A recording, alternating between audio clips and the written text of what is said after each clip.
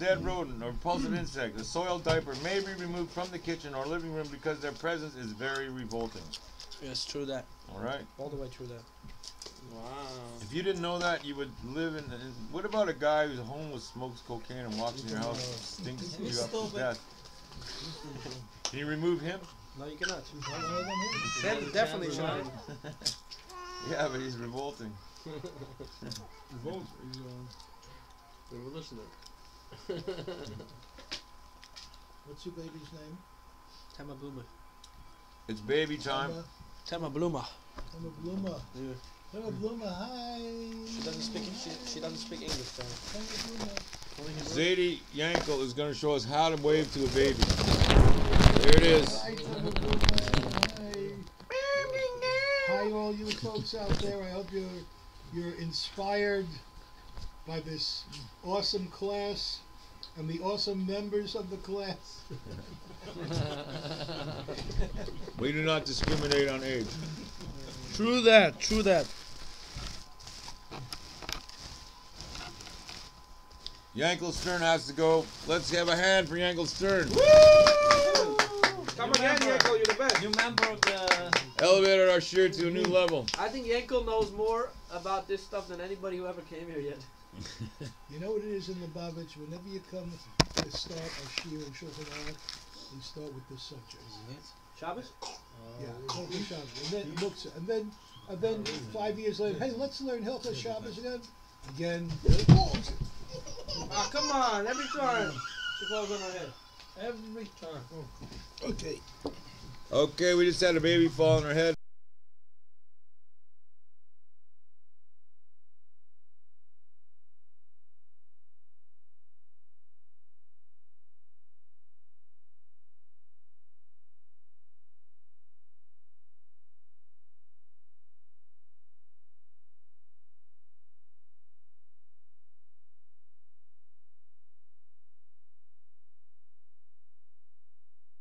The simple one. Uh, what, what's it?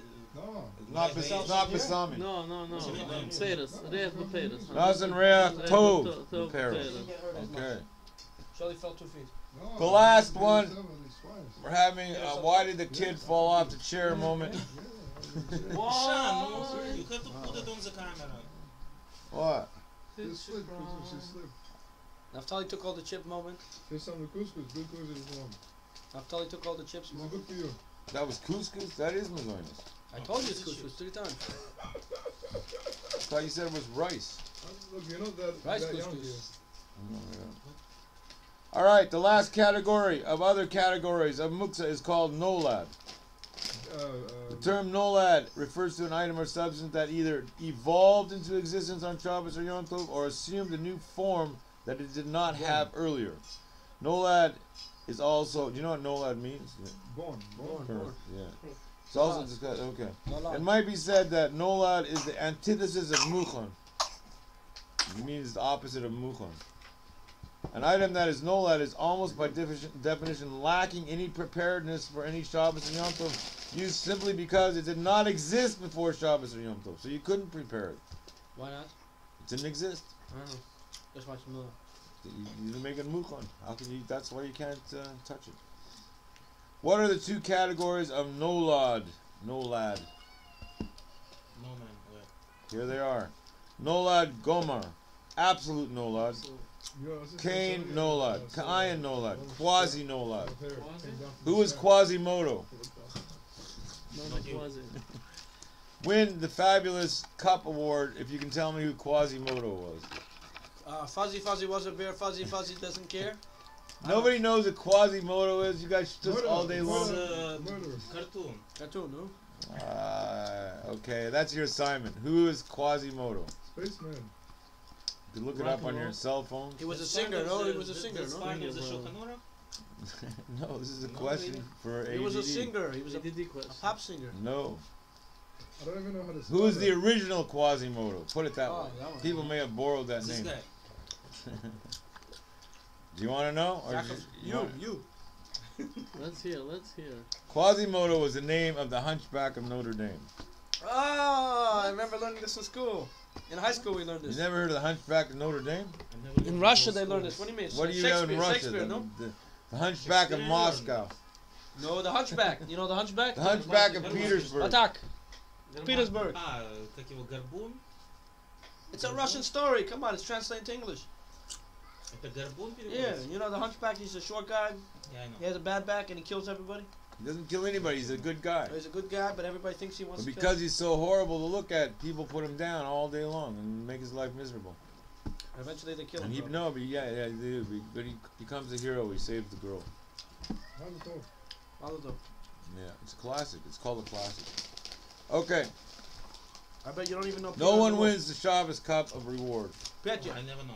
Petya Eve uh, Wolf. He didn't they go to uh, uh, school in Russia, I right? Wolf, I, I never learned. Nolad. Okay. No, not from the from the um, symphony or something. What is Nolad Gomor?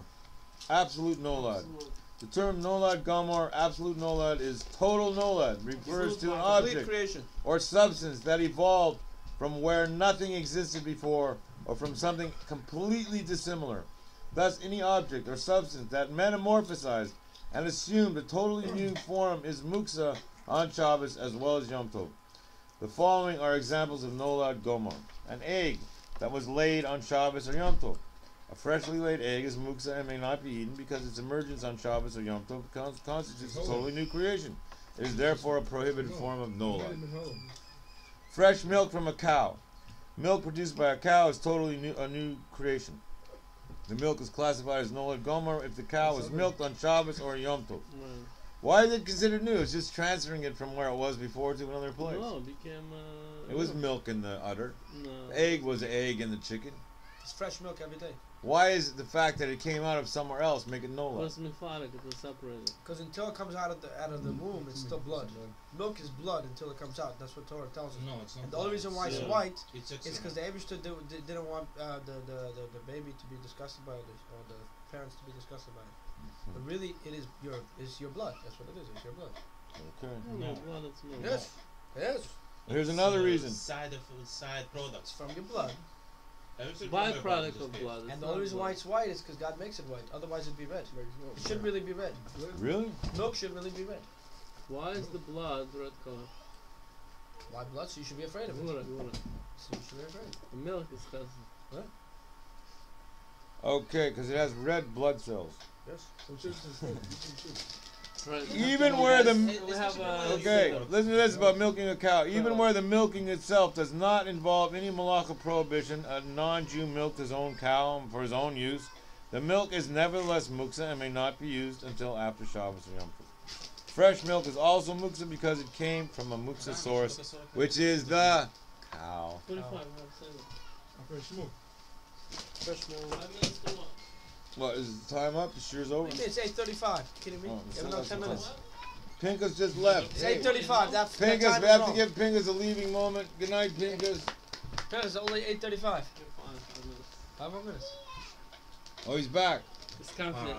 That clock is faster because my wife always does shkia. Exactly, Yeah? lights the Oh, candles. So. I want to make sure she lights five minutes My early. wife also used to do that. So I, ma- I, I just She that always on here? wa- was late to base Is that on she would lose for five bucks. This was She would come uh, by nine o'clock. She has to Folks, it's a talking quarter moment.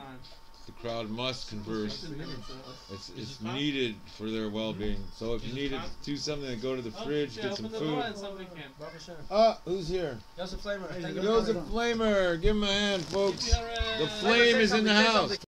Flame is in the house. Give it up. National uh, YouTube. What did Hendrix have for lunch today? Yes, tell us. Yeah.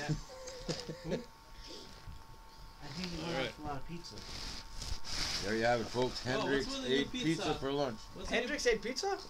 Chocolate opened up in What the else pizza. did he Col- he had cholesterol? Where, Did he have in, cholesterol? in, the, in the restaurant? In the no, no, the that's why he glasses died. That's why he died at a young age Like because he after, after because he the had he had a severe was high was, uh, they went blood on a pressure. Blood clot. I French guy had a glasses store.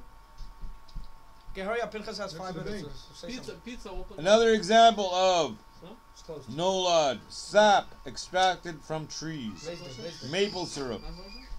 Maple syrup that is secreted from trees on Shabbos or Yom Tov in the springtime is classified as Nolad Gomor. The sap was previously absorbed in the tree as part of it and is now considered a newly created entity. That really doesn't make sense because it's in the tree and it's not blood. Sap? Because sap is created. Sap is inside uh, a product, and, it, and, and it's part of the tree. But when it comes out of the tree, it stops being a part So let's say you were trapped in a forest on Shabbos and you had nothing to eat and you could get some sap out of the out of- tree. Lick it. You could lick it in the tree. You could lick it in the tree. You stick your tongue into the tree, and you could lick the sap that's dripping from the tree. Make sure you That's don't in the get tree. any bees biting. Take that, I want You to lick into the hole of the sap. All right, folks, there it is. How to how to lick a tree on Shabbos. But the tree's muksa. I'm a lick expert. If anybody wants to know, I'm from San. I'm from San Francisco, California, and if you you want to know how to lick a tree, um, there's a lot of tree huggers over there, and uh, they will teach you. Where she's come from. You All the door. I see you. Wood that burned to ash, wood or coal that was burned and has been reduced to ashes is muksa because the ash is halachically regarded as a new creation and is therefore classified as nolad. Therefore, a matchstick used to light candles on Yom Tov that has burned itself out, even after being put down and is completely scorched, is muksa and may not be handled.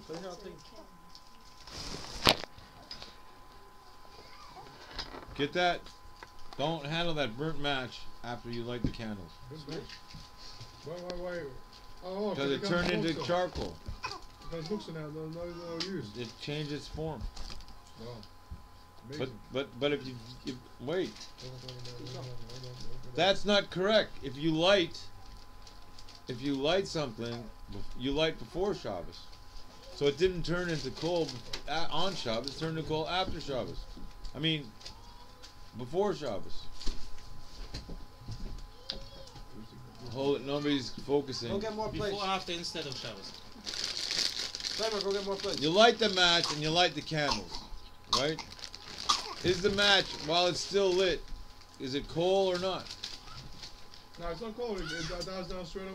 straight Yeah, up- fine. I'm But it's not plates. Shabbos yet. It's still, you know.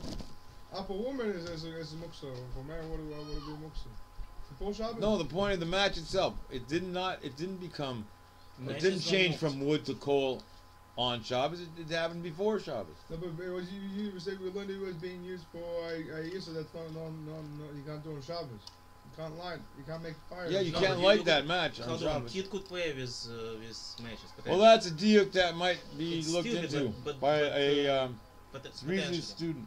Technically, there is no problem. Here's another type of nolad: Quasimodo nolad. Quasimodo. Understand this guy. Hunchback of Notre Dame nolad. You nolad. Kayan nolad. It's The like term- Cain and Abel, huh? Yeah, the Kayan term was, uh, nolad, quasi nolad, where the, where the forks? Right here. In front of the. or semi right in front of the nolad, semi nolad, In front of the computer. refers to an item that did not evolve anew, but rather is an existing entity that has undergone a minor transition and has assumed a slightly different form or function than before. Kayan nolad is not a true form of nolad. However, because it is an item that developed a new purpose and use on Yom Tov, it is somewhat similar to Nolad Gomer. A kind Nola- Nolad item is consequently lacks the high degree of Muchan required for Yom Tov and is therefore Muksa on Yom Tov, even though the very same item may would not be Muksa on Shabbos. Whoa, there's a difference. look at this- this choosy. It looks like no Quasimodo is, is, is definitely high, heavier on Yom Tov than Very Shabbos. swift on your Yom Tov. Yeah. What is Mukhan means prepared. Yeah, if, to, to touch an item on Shabbos, it has to be mukhan, prepared for Prepare Shabbos. for Shabbos. You hear your leg? Everybody knows, they could touch on Shabbos. Here's examples of Quasimodo Nolad. Quasimodo. One, a toy that is broken on Shabbos, but whose separate parts are still usable for entertaining a child is not muksa on Shabbos. So if you want to do it for entertainment for your nephew, right? Right. The broken toy and parts are nevertheless muksa on Yom Tov because, in a sense, the toy is an item that has become transformed into something functionally different than before. This situation is therefore somewhat similar to Why? Nolad, Why? Why why Yom Tov not? because Yom Tov is more strict. You saying because Yom Tov I can take it somewhere. Well, I don't know. Ah. You didn't really get into it. You just said that Yom Tov is way Uh, more strict. I'll tell you why. Because on Shabbos you're never going to take it anywhere to fix it. In Yom Tov, if you allow the guy to hold a broken piece, he'll take the broken piece and bring it to a place to fix. You can carry it now. You know what I'm saying? Well, that's your reason. That's not bad. Uh, okay. Similarly, a, if a chair or other furniture became broken, the segments or components of that are not muksa on Shabbos if they can fulfill no another permissible use, for a toy, for example. However, on Yom Tov, these same components would be muksa because their function. or use of use has been changed, and this resembles nolad. So nolad on on is completely awesome. Wow. What? Nolad on Yom Tov is completely awesome. Something, if something was created on Yom Tov, you can never use it. Okay, so we're getting into a whole new topic now. Is the time up? Because I don't want to start something this big. How big. about air? If- What time is it? What time is it? of water. That's the wrong Oh, time. how about juice? That's the wrong time. Yeah, it's time. You, Time is you up. could put, uh, you could squeeze juice and uh, it's gonna be. Well, well Time is up, folks. Thanks for listening. Now we have two more minutes. no. Two we more got two more minutes for Chaim Peel's Okay. parting Rad Oh, yeah. Man speech. Introducing Rad Man. Hi, this is Rad Man and Rad Baby. And we'd like to tell you the message of Shabbos. Now, we just learned that if something was created on Shabbos, we do not use it. Now, does that make sense? Yes, it makes sense. Because anything that was created on Shabbos, there's no blessing for the weekday. There is no blessing in your life. You need something that you use and work for in the weekdays. Anything you gain on Shabbos, you will have no benefit. So you might as well enjoy your day of rest. What do you care if you have shalom bayis? What do you care if your kids have five minutes a week to talk to their father? Why does it bother you that you get to relax after a whole week of working? Think about it. Relaxing from your cell phone, relaxing from your iPhone, relaxing from your driving yourself nuts, Android and phone. finally enjoying your family, enjoying the prosperity and money that you earned a whole week, and actually having time to enjoy it, not just once a week, once a year going on your stupid cruise that you spent a hundred million dollars on, and a hundred million dollar boat. Instead, enjoy a beautiful meal with your family, enjoy your delicious nash, and basically bring other brothers oh, close to Judaism. And Shabbos is a good Zach. Shabbos, mein Teire Brit in Amerika, sagt der Reb, der Reb Marash. Mein Teire in Amerika. Shabbos. Shabbos is a good Zach. Lachaim, lachaim. Shabbos is a good Zach. Cheer for Rad Man. And Rabman has finished. Shabbos et the Ochin Charasho. Et the Charoshe, uh,